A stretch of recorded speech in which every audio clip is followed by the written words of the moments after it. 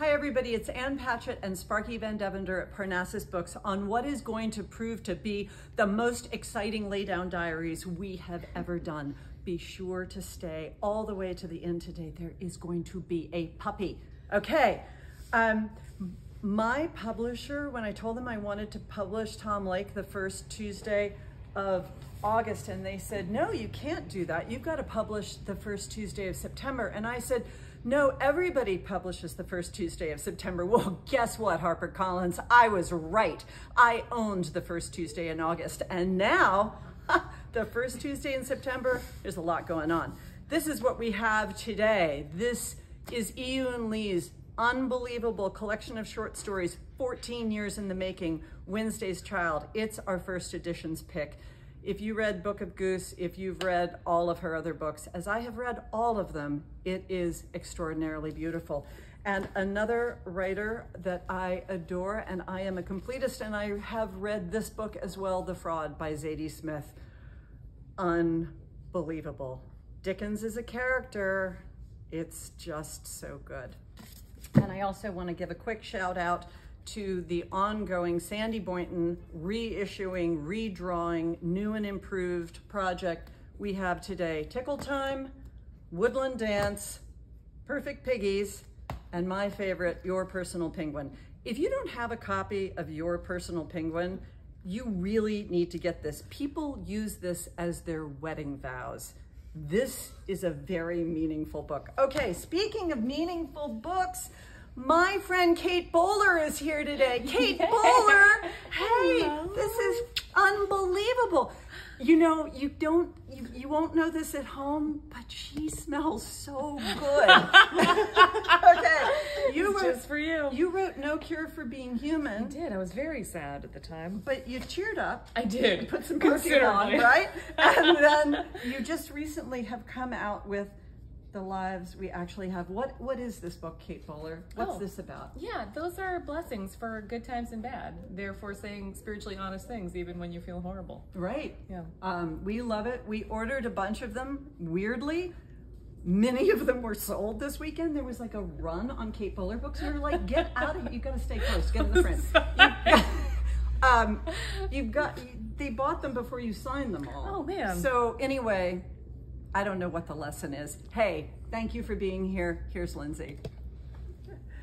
Hello. Um, we have boxes upon boxes of books. We're still unearthing things. So when I find out what the Reese pick is, I'll definitely tell you. It's in a carton somewhere. But for now, I know that the Jenna pick is Amazing Grace Adams by Fran Littlewood. This one follows a woman in her mid 40s who's had it. She's done. And up next we have Stephen King with Holly. This one builds off of a character from the Mr. Mercedes series, another mystery. Um, Etaf Rum is out with Evil Eye, which follows the life of a Palestinian American woman. There is a standalone, William Kent Krueger, The River We Remember. This is historical fiction. It can be read by itself. Over in nonfiction, we have Melissa Etheridge, Talking to My Angels. We have a few signed copies, so if you want one, they will go away quickly.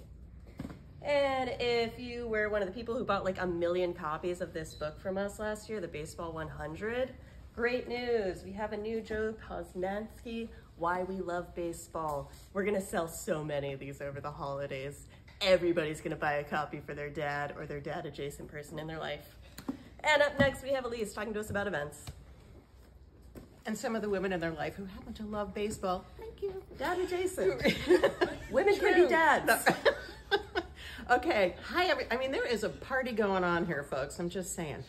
The first thing I want to talk about, which is not an event, which I, I tend to do these days. Anyway, I want to give a shout out to Dr. Anita, and that is Dr. Anita Phillips, who has written a book called The Garden Within. And she came to the store last week. I think Sarah and I worked with her to sign some book plates. And the book is called A Garden Within. It's the intersection between faith, culture, and neurobiology. She is a trauma therapist and she came in here and wowed us. I can't tell you. I have started the book. I'm loving the book. It's really interesting and all about our emotions and trauma and how to get in touch with our feelings in a really interesting and original way. You can see her. She's had conversations with Oprah and I don't know how many other people, but you can find her and she's fascinating. And if you are one of the lucky first 20 people to pre-order the book, it comes out September 19th, then maybe you will get a signed book plate in your book. Thanks, Dr. Anita. Okay, tonight, speaking of fabulous things, we have Major Jackson. I love Major Jackson. He's in conversation with Anthony Reed, and this is Razzle Dazzle, New and Selected Poems, 2002 to 2022. We adore him. There might be a seat left for you, so go online and check that out. Then on Wednesday, we have Alice Carrière, and she's in conversation with Amelia Edelman. And this is Everything, Nothing, Someone. I've talked about this book before because I think it's fascinating. She grew up in the village, in Greenwich Village in New York, with her parents, bohemian 90s, and, and just, it's a memoir, and it's her life with really fascinating, interesting people and a very unique upbringing. So that is on Wednesday. Then Thursday, I'm in conversation with Serenity Gerbman, and we are talking about 2023 Southern Festival of Books, which in so many ways is going to be incredible. They have the most amazing author lineup. It's in a new location. It's a little bit of a new format. So I hope to see you on Thursday to talk about Southern Festival Books. Then on Saturday, we have we have Bridget Hodder. We have Bridget Hodder, and she has written a book with Fawzia Gillani Williams. And um, Rayanne just handed me this book, and I read it really quickly, and I love it, and I might just have to get it for myself. It's two families and these two young boys from different cultures who make a promise to each other. And it's all around creating a garden and creating relationships and just getting along. And who doesn't love that? So that's Saturday at 1030. And now I think that's it. I'm going to turn it over to Rayanne, Jamie, and Heidi. Hi, everybody. I'm so glad to have my friend Jamie Sumner here with me today. Introducing new dog Heidi. Thanks for bringing Heidi, Heidi in, Jamie. I know. She's and very happy to be here. Also, thanks for writing amazing books for kids. Jamie's latest book is out today, and it's called Made for It. Now, Jamie, tell everyone what the book is about. So, Made for is a middle grade novel, and it is about a, a family dealing with addiction.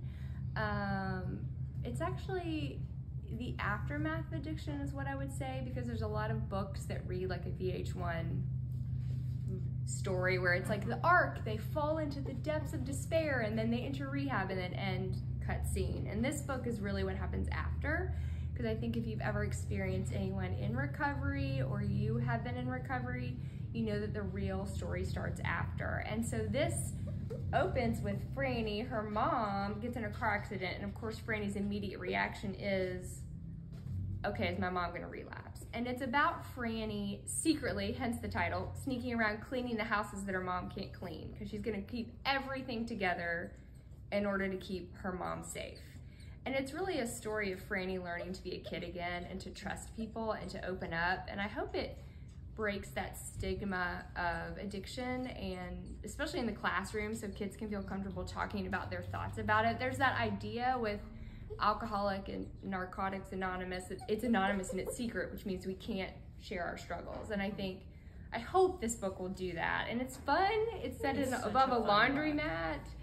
And there's a lot of like kids may actually learn how to clean. There's some tips in there if you ever the teachers want to sneak that in. They learn how to clean a mirror from top to bottom. Well, I so. want to say that I love this book, and I love all of your books because you write about regular kids, yeah, with regular problems. But the fun thing about this is that Franny keeps cleaning the mom's houses, but she blackmails a bully in her class to help her. Yeah, I mean, if you're gonna clean, you that? might as well recruit help, right? So Jamie has signed copies for us. You can order one through Parnassus Books and all of her other great books too. And we have another Nashville friend, Caroline Brooks Dubois, who has a paperback out today, the paperback edition of Ode to a Nobody. And Mascot is out today by Charles Sorrell, Charles Waters and Traci Sorell. This is about an eighth grade class who gets an assignment to debate their Native American mascot. It's told in verse, and I got to interview them for Musing. So if you're not subscribed to Musing, please go online and do that so you can read this interview and so many great others. Kate Albus has a new book out today, Nothing Else But Miracles. This is about three kids in World War II whose dad has gone off to fight and they're left alone in the neighborhood. It's a fascinating book. And Melissa De La Cruz has a new middle grade, the Super Secret Octagon Valley Society. This is for anybody who loves this uh, Benedict Society. It's about kids who are called to an island, but they don't know why. So thanks for showing up today, Jamie and Heidi. thanks for listening.